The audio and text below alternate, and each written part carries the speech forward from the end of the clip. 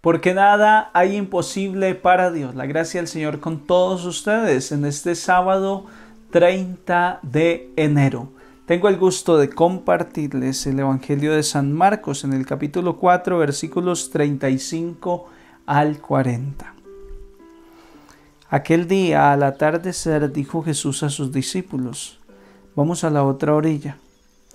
Dejando a la gente, se lo llevaron en barca como estaba, y otras barcas lo acompañaban. Se levantó un fuerte huracán, y las olas rompían contra la barca hasta casi llenarla de agua. Él estaba a popa, dormido sobre un almohadón. Lo despertaron diciéndole, Maestro, ¿no te importa que nos hundamos? Se puso en pie, increpó al viento y dijo al lago, Silencio, cállate. El viento cesó y vino una gran calma. Él les dijo, ¿por qué sois tan cobardes? ¿Aún no tenéis fe? Se quedaron espantados y se decían unos a otros, pero ¿quién es este? Hasta el viento y las aguas le obedecen.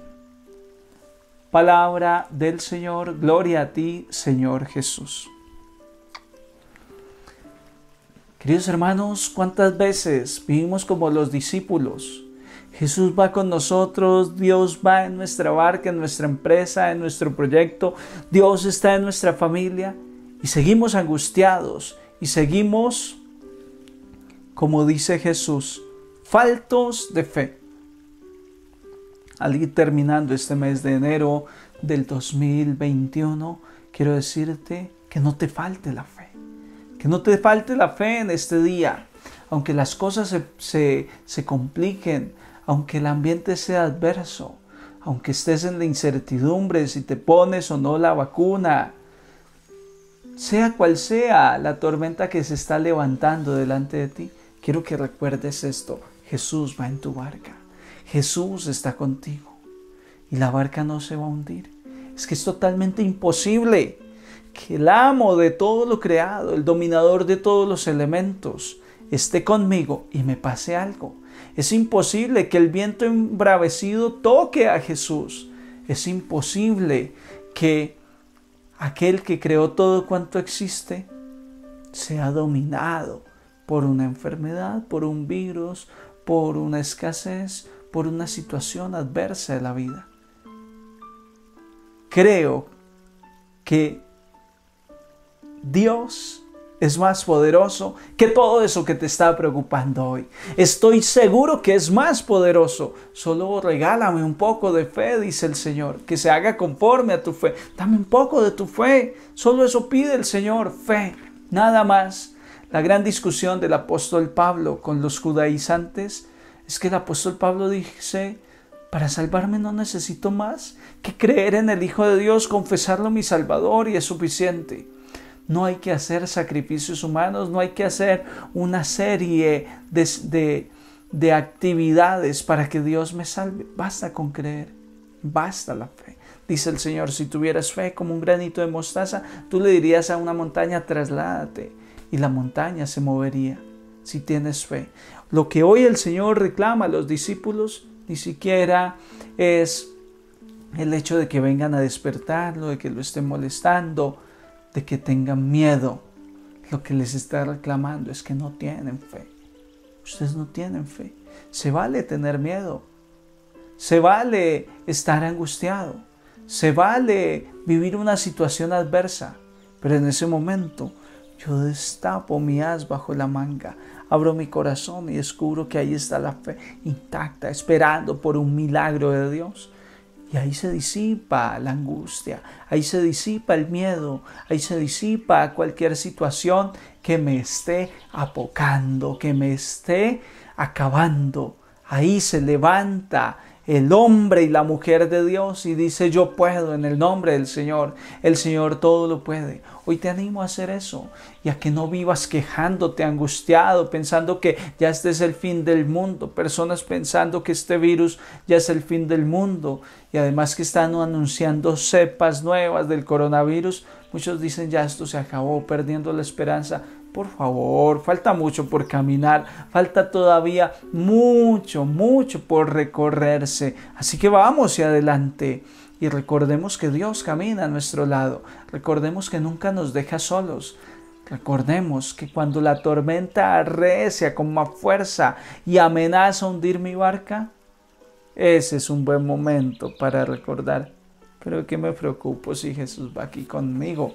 Yo no sé cuántas veces les ha pasado a ustedes que está uno en un sueño difícil, una pesadilla prácticamente, y despertamos y nos damos cuenta que era un sueño.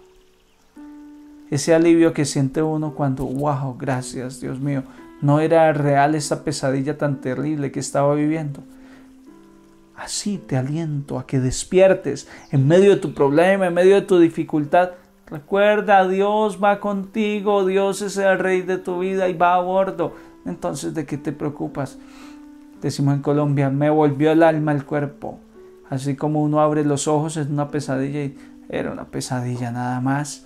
Que también hoy, en tu situación adversa, te vuelva el alma al cuerpo al saber que Jesús se apoderó de tu vida, que Jesús camina a tu lado, que Jesús prometió no dejarte solo ni un solo día de tu vida. Estaré con ustedes todos los días de la vida hasta el final del mundo. Lo creo, así lo siento, así lo declaro. Dios va conmigo y si Dios está conmigo, ¿quién podrá contra mí? Nadie podrá contra mí.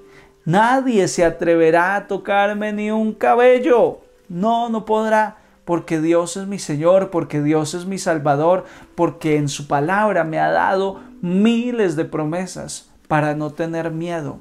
Se vale el miedo de reacción. Reaccionas con miedo, pero ahí en ese momento en que reacciones con miedo, despierta a la fe y recuerda que Dios te ama. Recuerda que Él dice que tu nombre está tatuado en la palma de su mano y que aunque tu padre y tu madre te abandonen, Él no te abandonará, porque Él es tu Señor, que aunque se muevan las colinas, se desplomen las montañas, el amor que Dios siente por ti no se moverá ni un milímetro. Qué bendición, qué maravilla hermano, ve a vivir eso, ve a compartir esa experiencia Ve a proyectarte como una persona enamorada de Dios, como una persona llenita del amor de Dios. Porque el que tiene el amor de Dios, ¿dónde está el miedo que no lo veo? Porque el amor de Dios echa fuera el temor, porque el amor de Dios supera toda incapacidad. ¿Dónde estás miedo que no te veo? Porque Dios está conmigo. Y si Dios está conmigo, ¿Quién podrá contra mí? Nadie podrá contra ti. Queridos hermanos, Dios los bendiga, Dios los guarde, compartan este evangelio, hagan que llegue a otras personas, que este 2021 sea un año para seguir creciendo como una comunidad digital. Si no te has suscrito, regálame una suscripción y haz parte de esta comunidad que sigue creciendo al calor de la palabra de Dios. Que Dios te bendiga en el nombre del Padre, del Hijo y del Espíritu Santo. Un santo día para todos.